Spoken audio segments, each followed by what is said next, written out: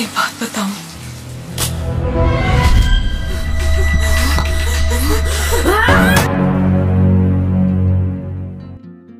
Halo sahabat Klik Cinema TV, dimanapun kalian berada. Saya berharap teman-teman dalam keadaan sehat walafiat. Nah, kali ini Mimin akan membawakan sebuah alur cerita film India yang berjudul Sid. Film yang dirilis pada tahun 2014 ini dibintangi oleh Manara sebagai Maya, Karanvir Sarma sebagai Rohan atau Roni, Sradada sebagai pria dan Sirat Kapor sebagai Nancy. Film Sid menceritakan tentang kisah cinta seorang gadis yang berubah menjadi cinta obsesif.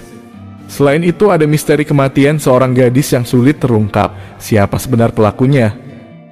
Daripada penasaran, kita langsung saja masuk ke alur ceritanya.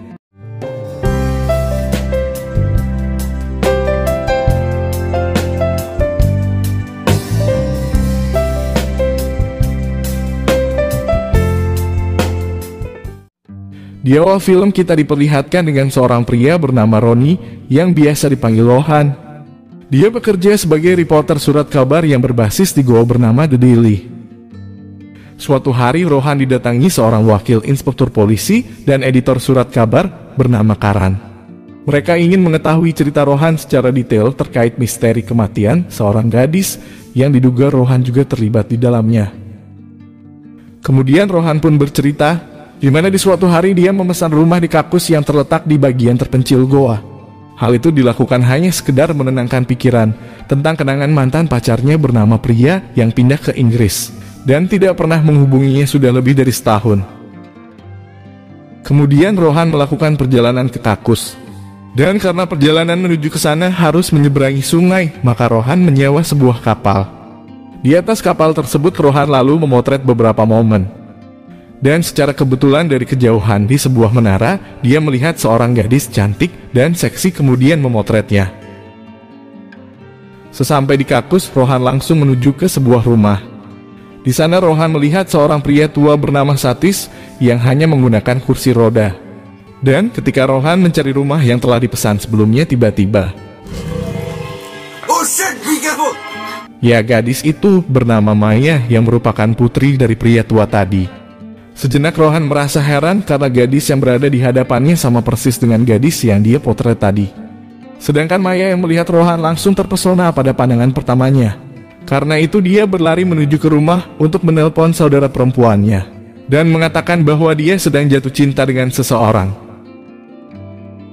Esok hari Rohan yang penasaran dengan Maya pun langsung bergegas ke rumahnya.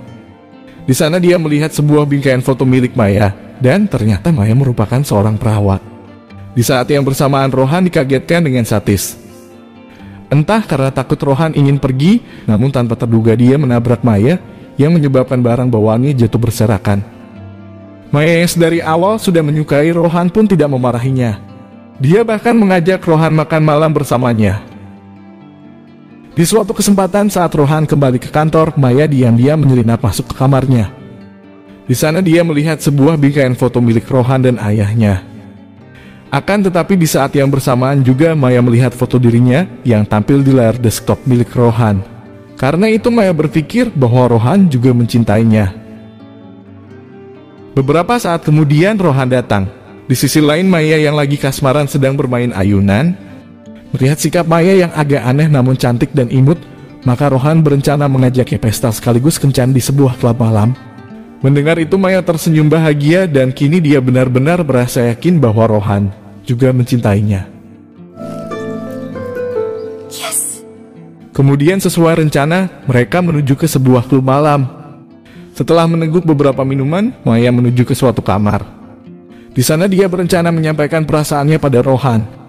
Sementara di sisi lain, Rohan dikagetkan dengan panggilan seorang gadis. Gadis itu bernama Nancy, saudara tiri dari pria mantan pacarnya. Akan tetapi saat mereka berdua sedang menari, tiba-tiba saja Maya datang dan melihat mereka. Seketika itu juga Maya pun langsung menunjukkan rasa kesal dan cemburu. Dalam perjalanan pulang, Rohan yang mengemudi dalam keadaan mabuk tiba-tiba saja. I like the music. You like.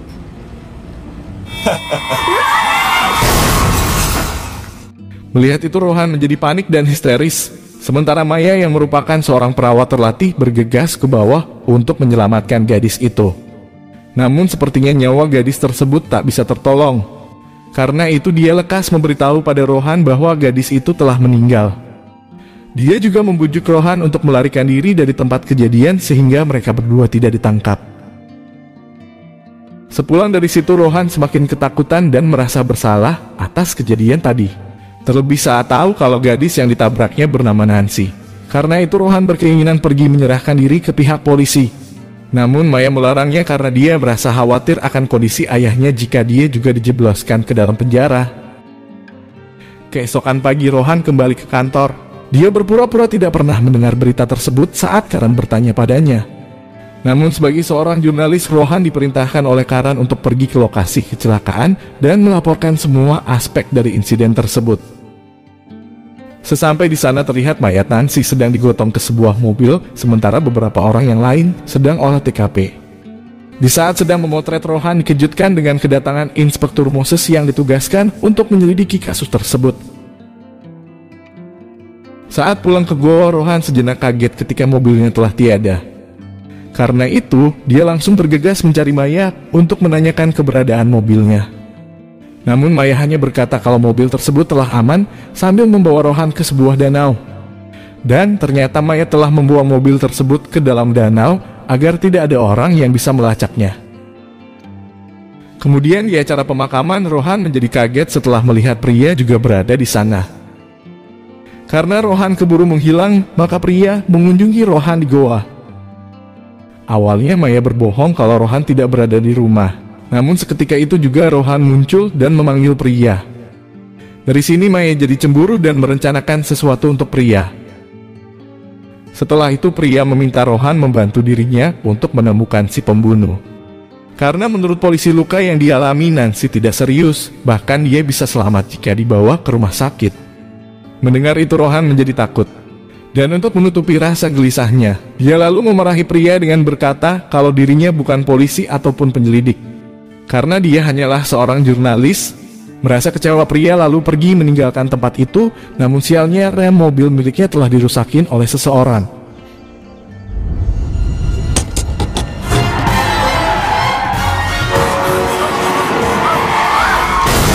Tetapi untung saja pria bisa selamat dari insiden tersebut. Setelah itu, Inspektur Moses menemui pria. Dia menduga peristiwa yang barusan dialami pria bukanlah kecelakaan, karena pria tidak mengalami luka dan tidak mengadu ke pihak polisi. Karena itu dia juga mencurigai ada orang dekat yang membunuh Nancy untuk mendapatkan warisan. Kemudian Rohan dan pria bertemu di sebuah restoran. Di sana pria yang gelisah lalu bertanya mengapa dirinya dicurigai atas kematian saudari tirinya. Namun Rohan berkata kalau hanya dirimulah yang diuntungkan dengan kematian Nancy. Tak lama berselang datang Inspektur Moses dia berkata kalau hasil forensik mengungkapkan bahwa Nancy akan hidup bahkan setelah dia ditabrak mobil, tetapi seseorang telah mencekiknya. Selain itu, dia juga semakin menaruh curiga, terlebih saat tahu kalau pria datang ke India sehari sebelum kematian Nancy. Karena itu, dia lalu memperingati pria tidak boleh meninggalkan kota ini tanpa seizin darinya.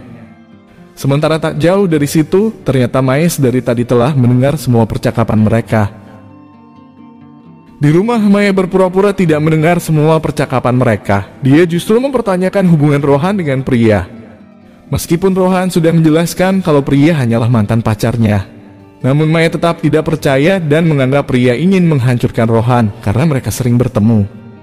Lantaran karena termakan emosi Rohan lalu memarahi Maya dan menamparnya. Esok hari di kantor, Rohan sedang menyelesaikan berita tentang kematian Nancy. Kemudian dia menelpon Maya untuk meminta maaf atas sikapnya, sekaligus mengajak Maya makan malam.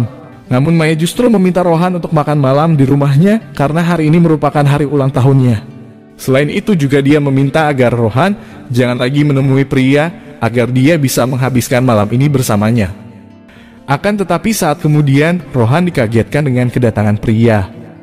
Di sana pria meminta Rohan ikut dengannya karena Inspektur Moses telah menemukan seorang saksi. Sesampai di sana ada seorang pria memberikan kesaksian yang sama persis dengan kronologi kejadian. Namun untungnya dia tidak melihat secara jelas siapa wanita yang terlibat di dalamnya. Saat dalam perjalanan pulang, pria meminta Rohan untuk menginap bersamanya. Namun Rohan beralasan kalau dia telah memiliki rencana untuk makan malam dengan seseorang. Di sisi lain, Maya yang sedari tadi menunggu kedatangan Rohan lalu menelpon ke kantor. Dan ada seseorang berkata kalau Rohan pergi bersama pria tadi sore. Mendengar itu Maya langsung menelpon Rohan. Namun Rohan berbohong kalau dirinya sedang sibuk menyelesaikan beberapa tulisan di kantor. Merasa ditipu, Maya menjadi marah dan menghancurkan semua makanan di atas meja. Kemudian Maya mendatangi kediaman pria. Di sana dia mempergoki mereka sedang bermantap-mantapan.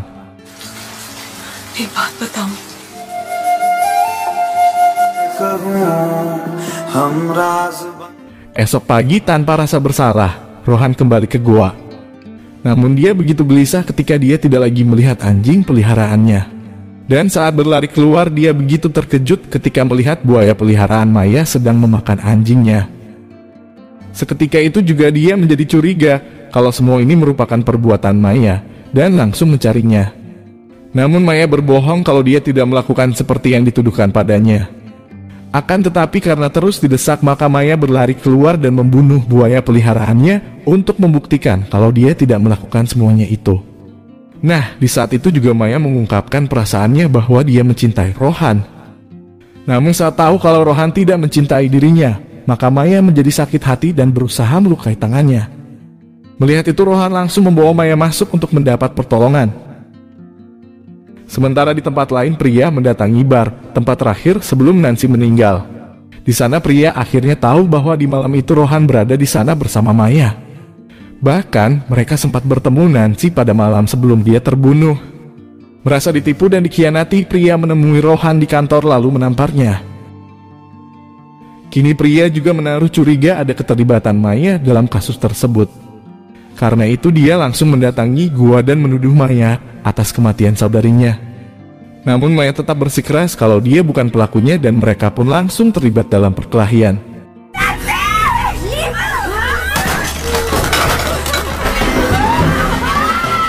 Kemudian Maya menelpon Rohan untuk memberitahu apa yang sedang terjadi.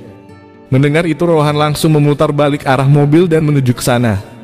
Setibanya di sana Rohan begitu kaget melihat semua barang telah hancur berantakan. Dan ketika dia bertanya pada Tuan Satis tiba-tiba saja.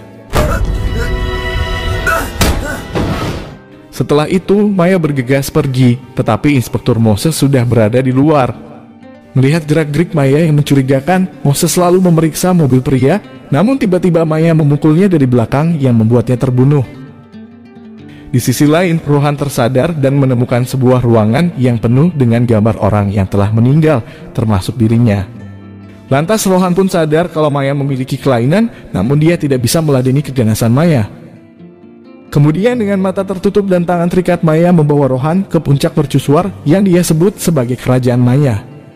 Saat penutup mata Rohan dibuka, dia sangat terkejut melihat pria bergelantungan di udara di atas kursi gantung. Namun karena tak bisa berbuat apa-apa, maka Rohan hanya bisa menuruti semua yang diinginkan Maya. Kemudian Rohan menyalakan sebatang rokok dan menumpahkan segelas anggur di atasnya yang menyebabkan kebakaran. Seketika itu Maya menarik pistol ke arahnya, tetapi Rohan bergerak lebih cepat. Namun Rohan justru terlena yang menyebabkan Maya berhasil mendorongnya dan berlari memotong tali. Akan tetapi Rohan bergerak cepat dan berhasil menangkap tali tersebut. Sedangkan Maya yang dalam kemarahan justru dibuat Rohan terlempar, namun untung saja dia berhasil menangkap sepotong besi dan bergelantungan di sana. Dengan sekuat tenaga, Rohan akhirnya berhasil menyelamatkan pria. Setelah itu mereka berdua mencoba menyelamatkan Maya, akan tetapi Maya yang terlanjur sakit hati justru menolak untuk ditolong. Maya,